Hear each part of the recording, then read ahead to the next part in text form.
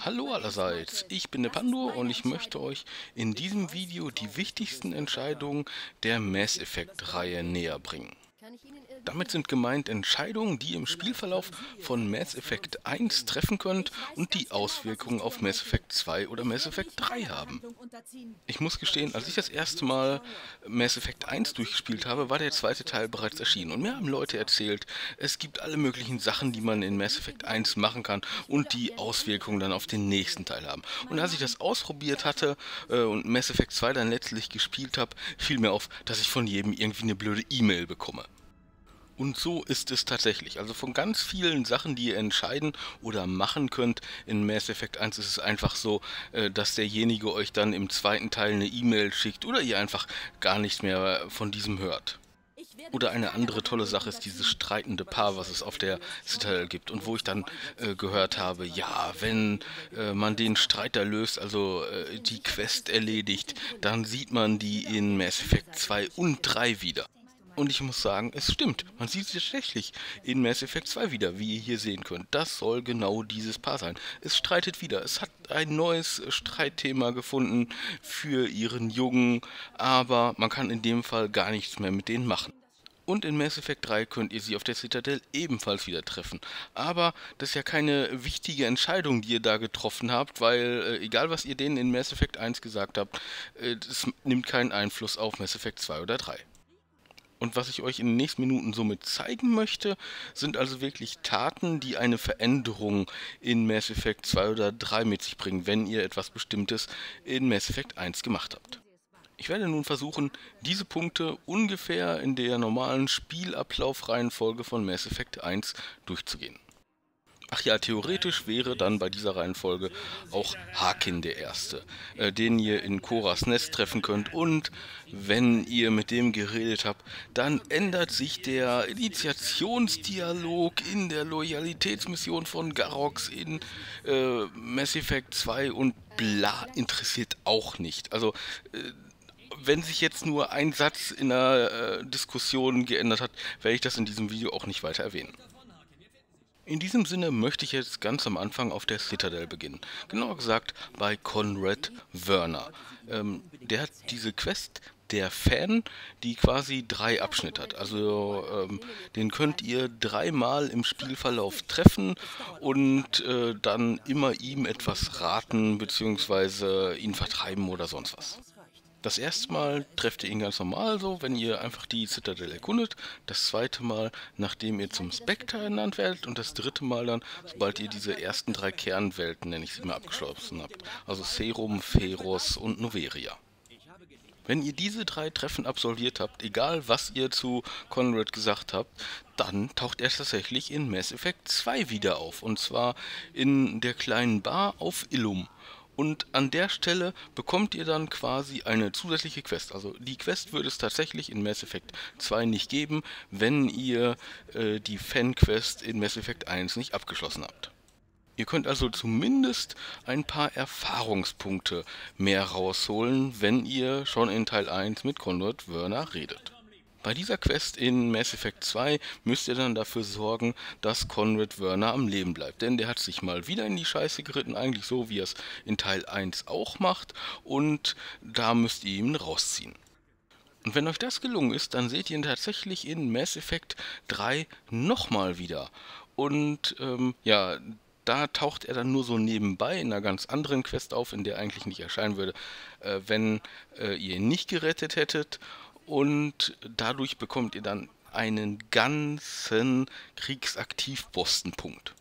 Also generell sind Kriegsaktivposten quasi die Währung von Mass Effect 3 und je mehr davon habt, desto besser wird das Ende des Spiels.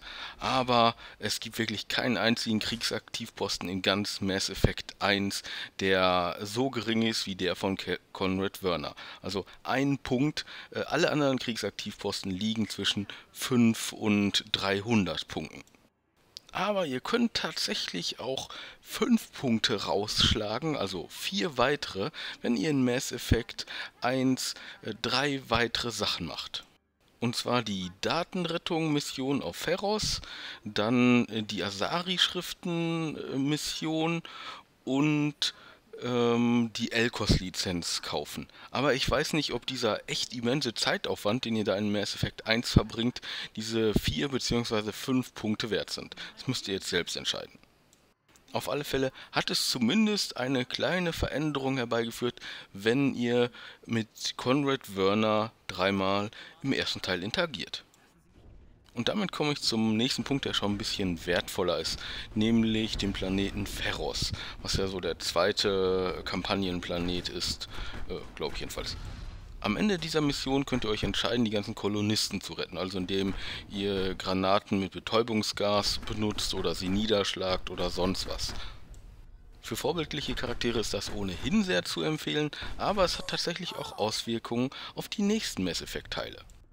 Denn genau wie bei Conrad Werner bekommt ihr durch die Rettung der Kolonisten ebenfalls eine zusätzliche Mission in Mass Effect 2. Also wenn ihr da auf Ilium seid, dann könnt ihr zu den Märkten im Süden gehen und da trefft ihr dann eine Repräsentantin der äh, Zeus Hope Kolonie. Das ist entweder diese Dame oder wenn ihr Shiala auch noch gerettet habt, wäre das äh, Shiala. Da könnt ihr also ebenfalls nochmal im Folgeteil XP abgreifen. Und direkt nachdem ihr diese Kolonisten bereits betäubt habt, geht ihr runter zu dem Torianer, also dieser äh, riesigen alten Pflanze oder was das sein soll, äh, die dann immer so Asari-Klone ausspuckt und gegen die ihr erstmal so quasi als Endgegner kämpfen müsst.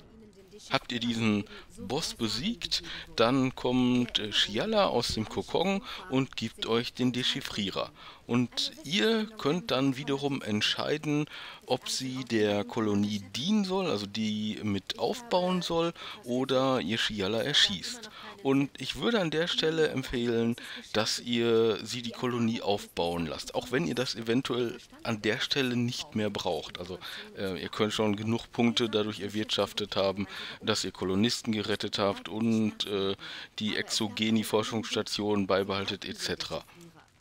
Aber wenn ihr tatsächlich die Kolonisten gerettet habt und Shiala nicht getötet habt, dann erhaltet ihr in Mass Effect 3, nachdem ihr auf Tuchanka wart, eine E-Mail von äh, Shiala und Dadurch erhaltet ihr wiederum einen Kriegsaktivposten und der ist ein bisschen mehr wert als der von Conrad.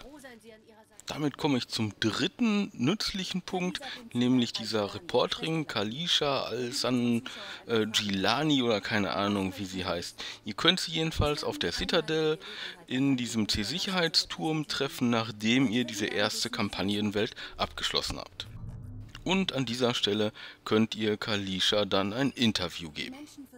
An dieser Stelle scheint es erstmal nur wichtig zu sein, was für Antworten ihr gegeben habt, dass das irgendwelche Auswirkungen hier in Mass Effect 1 hatte, der Rat euch vielleicht dann äh, beschimpft oder keine Ahnung was. Aber das interessiert alles überhaupt nicht, das hat nicht wirklich eine Auswirkung. Und ehrlich gesagt seht ihr Kalisa so oder so in Teil 2 und 3 wieder. Es ändern sich durch eure Taten in Teil 1, in Teil 2 dann nur ein oder zwei Sätze bei dem nächsten Interview. Das Witzige ist eigentlich, dass ihr Kalisa ja in Teil 1 schon schlagen könnt in dem Interview, also je nachdem, was für Antworten ihr wählt. Und in Teil 2 könnt ihr das dann wieder. Und wenn ihr das tatsächlich gemacht habt, dann hat sie in Teil 3 hinzugelernt. Wenn ihr sie dann wieder schlagen wollt, äh, dann schlägt sie tatsächlich Shepard und weicht ihm natürlich aus. Das ist ein witziges Gimmick, aber was interessant ist, ähm, dass wenn ihr sie die ganze Zeit nicht geschlagen habt, also weder in Teil 1 noch in Teil 2 und das in Teil 3 auch nicht macht, dann bekommt ihr doppelt so viele, also 10 statt 5 Punkte für den Kriegsaktivposten, dass ihr also drei Interviews gegeben habt. In diesem Sinne hat das Interview tatsächlich eine kleine Bewandtnis für die folgenden Mass Effect Teile. Somit möchte ich zu Noveria übergehen und komme da zu Gianna Parasini, also dieser Adjutantin, äh, Sekretärin äh, von äh, dem Oberhaupt hier in dem Noveria Raumhafen. Ihr könnt hier ja auf unterschiedlichen Wegen an äh, den Zugang zu Gipfel 15 kommen, also äh, dass ihr in die Garage dürft und weiterfahren dürft. Und äh, bei einer Möglichkeit würde es passieren, dass Gianna stirbt. Wenn ihr wiederum in Mass Effect 2 eine weitere Quest wollt, solltet ihr das verhindern. Am besten helft ihr stattdessen Gianna, hier ihren äh, Boss zu stürzen, weil, ja, ich spoiler ja sowieso hier in äh, diesem Video immens, von daher kann ich das auch sagen. Ähm, sie möchte ihn halt überführen und dabei könnt ihr Gianna unterstützen. Und in dem Fall seht ihr sie dann wiederum auf Ilium wieder, wo sie euch halt eine weitere Quest gibt. Wir bleiben auf Noveria. Ganz am Ende dürft ihr ja Matriarchin Benesia bekämpfen. Das Wichtige an diesem Kampf ist gar nicht äh, Benesia selbst, sondern die Rachni-Königin im Hintergrund, mit der sie sich beschäftigt hat. Nachdem Benesia gestorben ist, könnt ihr mit der Rachni-Königin reden, äh, die über den Körper einer äh, toten Asari-Kommandoeinheit oder wie auch immer die Viecher da hießen, äh, mit euch redet. Ihr müsst in diesem Augenblick entscheiden, ob ihr die Rachni-Königin freilasst, was erstmal relativ böse scheint, weil die ja für einen riesen Krieg gesorgt hat, also dieses äh, Volk, aber ihr quasi Genozid äh, begehen würdet, wenn ihr sie töten würdet eure beiden Squad-Mitglieder, die ihr mitgenommen habt, die spielen dann auch so ein bisschen Engelchen und Teufelchen auf eurer Schulter und sagen hier, bitte töten oder verschonen sie doch etc. Und diese Entscheidung ist tatsächlich relativ wichtig. In Mass Effect 2 merkt ihr davon eigentlich noch nichts. Also wenn ihr wirklich aufmerksam seid, dann äh, könnt ihr vielleicht auf Ilium äh, in den Nachrichten auffangen, äh, dass irgendwie Rachni gesichtet wurden oder die Rachni ums Leben gekommen sind oder sonst was. Irgendeine Nachrichtenmeldung zu den Rachni halt. Aber in Mass Effect 3 gibt es einen Planeten, der von den Rachni bevölkert wird. Und wenn ihr dort am Ende seid, äh, schon wieder unzählige Rachni abgeschlachtet habt, genau wie auf Noveria, dann kommt ihr erneut zu der Rachni-Königin. Und äh, wenn ihr die gerettet habt, dann erkennt sie euch halt wieder. Ihr dürft dann beziehungsweise müsst an dieser Stelle wieder die Entscheidung treffen, ob ihr die Rachni-Königin am Leben lasst oder tötet. Und wenn ihr sie am Leben lasst, dann wird sie zu einem ziemlich gewaltigen Kriegsaktivposten. Zugegebenermaßen muss ich an dieser Stelle sagen, wenn ihr sie am Leben lasst, wird auch der Kriegsaktivposten der Kroganer ein bisschen geringer, also der Vorteil ist nicht ganz so riesig. Aber es führt eine Veränderung herbei. Und wenn ihr die Rachni-Königin getötet habt, dann findet ihr an der gleichen Stelle in Mass Effect 3 so einen äh, Klon quasi von der Königin wieder. Da habt ihr auch die gleichen Optionen, also könnt ihr auch wiederum am Leben lassen, aber der Unterschied ist, der Klon würde euch betrügen. Also falls ihr den Klon dann am Leben lasst, dann ähm, zieht sich dieser Kriegsaktivposten äh, nach zwei oder drei Missionen zurück und ihr habt quasi einen Verlust. Ich würde euch daher in Mass Effect 1 dazu raten, diese Rachni-Königin einfach laufen zu lassen und dann in Mass Effect 3, wenn es soweit ist, abzuwiegen, was euch besser gefällt. Ist auf alle Fälle die bessere Option, als die Königin umzubringen. Damit ist Noveria jetzt abgeschlossen und ich wollte eigentlich zu Wörmeier übergehen, wo es tatsächlich die meisten Entscheidungen gibt. Aber bevor ich dahin komme, äh, muss ich noch eine Sache vorwegnehmen. Also auf Wörmeier könnt ihr was zu Vrax entscheiden und Vrax kann man am Anfang auf der Citadel tatsächlich nicht rekrutieren. Also ihr könnt Rex tatsächlich aus dem Weg gehen, indem ihr einfach Garros Geschichtsstrang nehmt, also als er zu der Krankenstation und nicht in Koras Nest geht und so weiter, und den vollkommen ignorieren. Wenn ihr das macht, hat das quasi die gleiche Auswirkung, als wenn Vrex getötet worden wäre. Das heißt, auf dem Urdnot-Thron von Tuchanka sitzt dann nicht Urdnot Vrex, sondern Urdnot Vreef. Das ist eine der vielen Veränderungen, äh, die es in der Mass Effect-Reihe gibt. Also, falls irgendeine Person gestorben ist, wird sie im Folgeteil durch eine andere Person ersetzt, die minimal anders aussieht und einfach einen anderen Namen hat. Ihr könnt das an dieser Szene sehr schön sehen, wo einfach entweder Urdnot Reef auf dem Thron sitzt oder Urdnot Rex. Und damit komme ich jetzt tatsächlich zu dieser Urnot Rex Entscheidung auf Wörmeier. Also sobald ihr an der Basis der Salarianer angekommen seid, dann erzählt ja Captain Curie von äh, diesem Heilmittel gegen die Genophage. Die Genophage ist ein Thema der Kroganer, was sich durch die ganze Mass Effect Reihe zieht. Also davon werdet ihr in Mass Effect 2 wieder was hören und was entscheiden können und in Mass Effect 3 dann auch.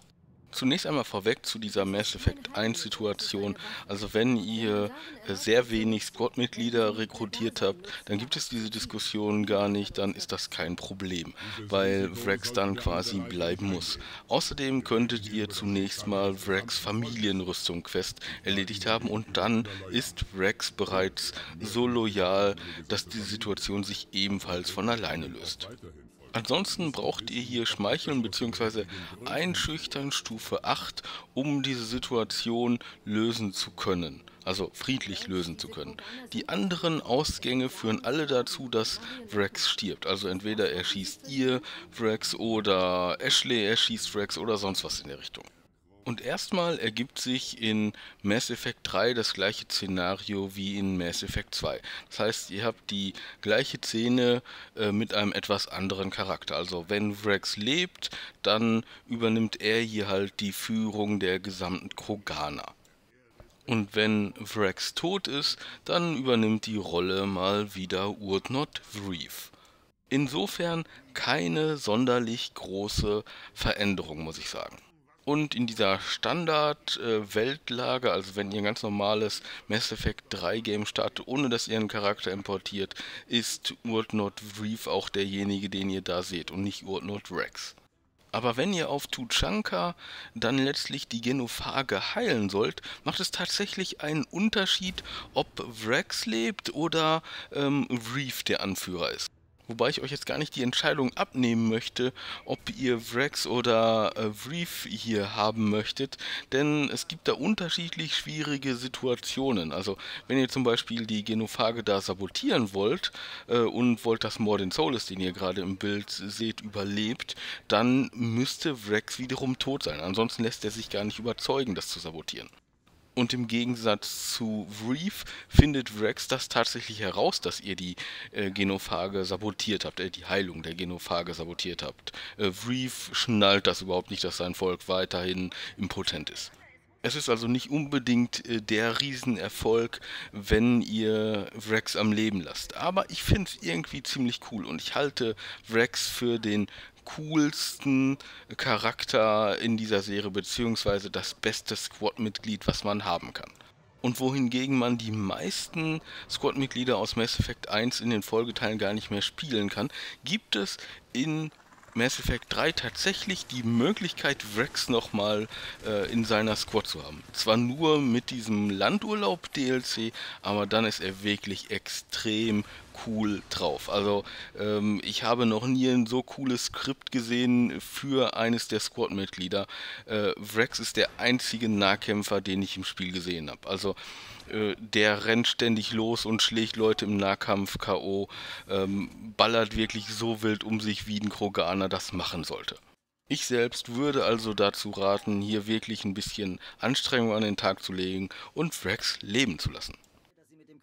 Womit ich zum zweiten wichtigen Charakter hier auf Wörmeier komme er fällt überhaupt nicht auf und es fällt auch überhaupt nicht auf, dass ihr hier eine wichtige Entscheidung treffen könnt. Gemeint ist dieser Salarianer hier im Bild, Captain Curie oder wie auch immer man ihn aussprechen mag. Ihr müsst nach dem Gespräch mit dem Captain hier ähm, die Basis von Sachen stürmen. Und dabei könnt ihr ein paar optionale Ziele mitnehmen, nämlich diese Satellitenverbindung oder diese Funkverbindung hier äh, zu zerstören, also an der Ab Abzweigung an der ersten rechts abbiegen, nach Norden gehen und äh, da dann alles abknallen. Anschließend dringt ihr ein bisschen weiter vor. Ihr seid noch immer nicht in der Basis selbst drin, sondern kurz davor, ebenfalls wieder im Norden, gibt es so eine Tankstelle, äh, die von ein paar Guess-Angriffsdrohnen äh, verteidigt wird und zugegebenermaßen recht schwer zu zerstören ist, weil diese Drohnen ganz gut drauf sind. Aber auch das solltet ihr machen und äh, dann geht ihr über diesen, ähm, ich sag mal, Nordeingang in die Basis rein. Ich sage das extra, weil ihr tatsächlich auch über die Kanalisation reingehen könnt. Falls ihr an dieser Konsole seid und entscheidet, ähm, ob ihr den Salarianern zusätzliche Gestkräfte auf den Hals setzt oder nicht, dann macht es lieber nicht. Wenn ihr das jetzt alles gemacht habt, also äh, den Salarianern alle Probleme vom Hals geschafft habt, dann überlebt Captain Curie äh, diese Mission und ihr trefft ihn erstmal nur im Frachtraum der Normandy wieder. In Mass Effect 2 verändert sich dadurch auch nur ein kleiner Dialog, aber in Mass Effect 3 trefft ihr dann mittlerweile Major Curie tatsächlich wieder. Und zwar hier auf Sokesh. Und da ist er schon erheblich cooler drauf als sein Lieutenant Torfan äh, Gegenstück, was ihr dort erleben würdet, wenn Curie in Mass Effect 1 gestorben wäre. Das Entscheidende ist aber eigentlich erst die Ermordung des salarianischen Ratsmitglieds innerhalb von Mass Effect 3. Hier würde normalerweise Kai Leng das Ratsmitglied töten. Aber wenn Captain bzw. Major Curie Mass Effect 1 überlebt hat, dann schmeißt er sich zwischen den Attentäter und das salarianische Ratsmitglied und rettet diesem das Leben zugegebenermaßen muss ich sagen, dass es auch noch eine zweite Möglichkeit gibt. Also wenn ihr es schafft, dass äh, Zane Cryos in Mass Effect 2 überlebt, also die Selbstmordmission am Schluss und so, äh, komplizierte Sache, äh, erkläre ich in einem anderen Video. Wie auch immer, äh, dann kann der ebenfalls diesem Ratsmitglied das Leben retten. Major Curie ist in dem Fall also nur die zweite Wahl. Aber immerhin ist es möglich, dass er hier etwas tut. Und das ist schon mal ziemlich cool. Das ist eine Sache, die ihr normalerweise nicht seht, wenn ihr äh, einfach mit der Standardweltlage spielt. Ich schreite mal voran hier auf Wörmeier weiterhin. Äh, wir sind äh, mittlerweile in Sarens Festung eingedrungen und ja auf dem Weg zu diesem zweiten Sender. Und da findet ihr dann so eine Asari-Wissenschaftlerin in einem der Büros. Rana Sanoptis oder so heißt die, ich weiß nicht, ob ich es richtig ausspreche. Aber wie auch immer, in dieser Situation habt ihr wiederum die Möglichkeit, Rana am Leben zu lassen oder zu erschießen. Und wenn ihr Rana laufen lasst, dann könnt ihr sie auf Korlus in dem Labor von Overlord Ukir wieder treffen und erneut laufen lassen. Ehrlich gesagt habt ihr dann hier nicht mehr die Wahl, sie zu erschießen oder sonst was. Da könnt ihr sagen, was ihr wollt. Da rennt sie dann wirklich einfach nur noch weg. Und das war es leider auch schon. Also das hat jetzt keine coole Bewandtnis. Aber in Mass Effect 3 äh, könnt ihr dann quasi wieder eine E-Mail lesen. Nein, äh, ganz so toll ist es nicht. Äh, aber in Mass Effect 3 gibt es so ein Info-Broker-Terminal von Liara und da könnt ihr dann einen Bericht darüber lesen, äh, dass Rana äh, von äh, den Reapern indoktriniert wurde und getötet wurde. Spulen wir nochmal ein, zwei Minuten zurück. Am Anfang von Vermeer, hier in dem ersten Gespräch mit Captain Curie, konntet ihr entscheiden, ob ihr Ashley oder Kaidan äh, diese Bombe platzieren lasst. Das ist an der Stelle noch nicht wirklich ausschlaggebend. Das ist egal, wen ihr wohin schickt. Aber wenn ihr dann ein bisschen weiter innerhalb dieser Mission vorgedrungen seid und so kurz vor dem Showdown seid, dann müsst ihr eine lebenswichtige Information treffen. Also ähm, es hat sich dann so eine blöde Situation ergeben, dass weitere Guest-Truppen anrücken und nicht mehr beide von äh, äh, eurer Squad entkommen können. Ihr müsst also entscheiden, einen zurückzulassen und einen mitzunehmen. Also entweder überlebt Kaidan oder Ashley das scheint an dieser Stelle eigentlich auch eine größere Sache zu sein, als es ist. Aber im Endeffekt ist es so, äh, dass diese beiden Personen in Mass Effect 2 kurz und in Mass Effect 3 äh, wieder länger mitspielen. Generell möchte ich vorwegnehmen, wenn ihr Mass Effect 2 oder Mass Effect 3 mit einem Standardcharakter spielt, dann werdet ihr immer das ähm, geschlechtlich gegenteilige ähm, Gegenstück haben. Also soll heißen, wenn ihr einen weiblichen Charakter spielt, dann wird euch immer Kadan in Mass Effect 2 und 3 zur Seite gestellt und äh, wenn ihr einen männlichen Shepard spielt, dann habt ihr Ashley äh, an eurer Seite. Und die beiden füllen wirklich eine absolut identische Rolle aus. Also die Charaktere machen handlungsmäßig immer genau das gleiche. Es ist mehr oder weniger äh, eine optische Frage, wen ihr lieber mögt. Äh, glücklicherweise verändern die sich zum Positiven in den Folgeteilen. Aber ihr könnt halt quasi jetzt in Mass Effect 1 entscheiden, welches Squad-Mitglied ihr in Mass Effect 3 haben möchtet. Und ich muss sagen, als Squad-Mitglied unterscheiden sie sich tatsächlich ein wenig. Also sie haben unterschiedliche Fähigkeiten, sie haben eine unterschiedliche Bewaffnung und sie verleihen Shepard andere Bonuskräfte. Also Ashley verwendet zum Beispiel Sturmgewehre und Präzisionsgewehre und Kadan Sturmgewehre und schwere Pistolen. Kadan gibt euch in Mass Effect 3 die Bonuskräfte Barriere, die ich eigentlich ganz cool finde, und Aufspalten. Wohingegen euch Ashley Schütze und Inferno-Granate verleihen würde. Außerdem ist dann natürlich die Romanze-Option, also ihr könnt sowohl Kadan als auch Ashley in Mass Effect 3 wieder daten, wobei Ashley nur an männlichen Shepards interessiert ist und Kadan so ein bisschen bisexuell wird und es eigentlich mit jedem treibt. So, und damit habe ich jetzt noch drei Entscheidungen übrig, beziehungsweise drei Taten. Was ihr hier gerade seht, ist diese Luna-Mission, also quasi diese Klassenspezialisierungsmission, die es in Mass Effect 1 gibt. VI außer Kontrolle oder so heißt die. Ich denke mal, die sollte jeder eigentlich gemacht haben. Aber bei dieser Standard-Weltlage von Mass Effect äh, 2 und 3 hat man die komischerweise nicht erfüllt. Ist eigentlich nicht so wirklich relevant. Aber witzigerweise ähm, entwickelt sich da etwas raus. Also mit dieser KI habt ihr tatsächlich in Mass Effect 2 und 3 wieder zu tun auch wenn ihr das erst am Ende von Mass Effect 3 erfahrt. Also wenn ihr da im Cerberus Hauptquartier seid, dann könnt ihr euch so ein Video ansehen und in dem Video wird dann enthüllt, dass die KI ähm, von Cerberus in die Normandy implementiert wurde und quasi im zweiten Teil zu Edi wurde. Und das ist wiederum eine Sache, die versteht man in Mass Effect 3 überhaupt nicht. Wenn man mit der Standard-Weltlage gespielt hat, dann gibt es diese Enthüllung, aber man versteht nicht, was da äh, überhaupt erzählt wird, wenn man diese KI-Mission gar nicht gespielt hat. Also, äh, das hat für die Spielhandlung keinen Unterschied, aber der Spieler versteht es nicht. Daher wollte ich das an dieser Stelle nur einmal erwähnen. Und damit bin ich nun letztlich am Ende von Mass Effect 1 angekommen. Ganz am Schluss im Showdown quasi, wenn ihr so fast geschafft habt und dieser Kampf gegen die Sovereign aussteht, dann müsst ihr entscheiden, ob ihr den Citadel-Rat rettet oder ihn sterben lasst. In Mass Effect 2 scheint das eigentlich überhaupt keine Bewandtnis zu haben. Also ihr seht den Citadel-Rat in Mass Effect 2 noch nicht mal. Und ihr habt nur so ein kurzes Gespräch mit Udina und äh, Anderson und es taucht eigentlich gar nichts auf.